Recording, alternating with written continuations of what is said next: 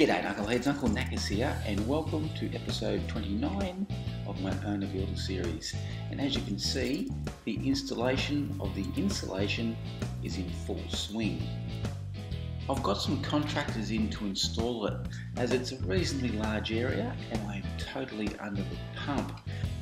And these guys are also so much more efficient with the use of their offcuts. Nothing goes to waste, so it's a really cost-effective way of installing your batts. And while they're off doing their thing, I can be off doing my thing, which I think is a better use of my time, especially when there's so much happening at the moment.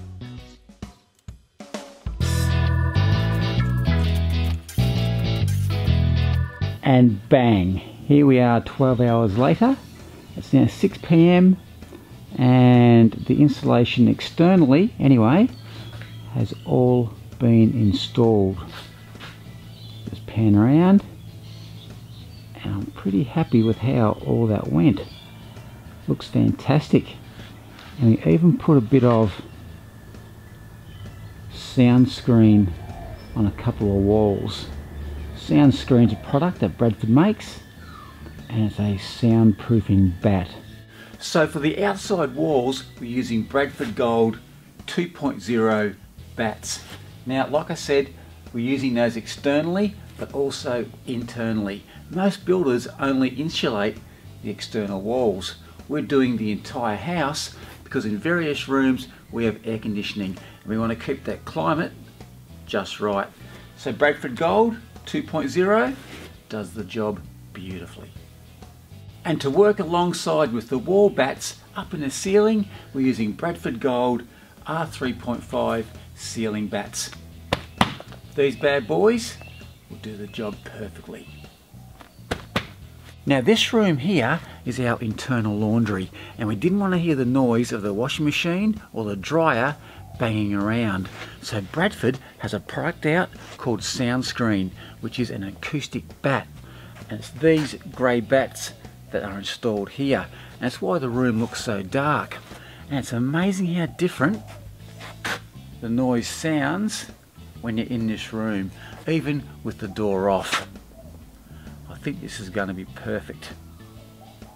Good choice. Oh yeah, don't forget, if you're installing a dryer in your laundry, don't forget to install some wall blocks to hang your dryer off. It's a good tip. And I've also put in sound screen batts in this bedroom that adjoins the laundry and also the living room. Now using these batts in conjunction with CSR's Soundchek plasterboard or drywall, this room should become insulated from the noise of the laundry and also from the TV in the living room. And hopefully, fingers crossed, the kids will stay asleep. So just before I go, I want to give a quick shout out to Bradford Insulation for supplying such a great product and also to Michael Bailey from Radiance Insulation Services up here in Coffs Harbour.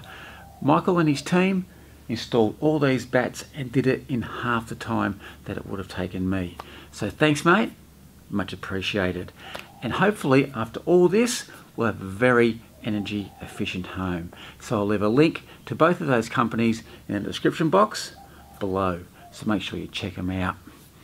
Alrighty, after a 12 hour stint, I think it's time to go home. So till next time, I'm out of here. Cheers.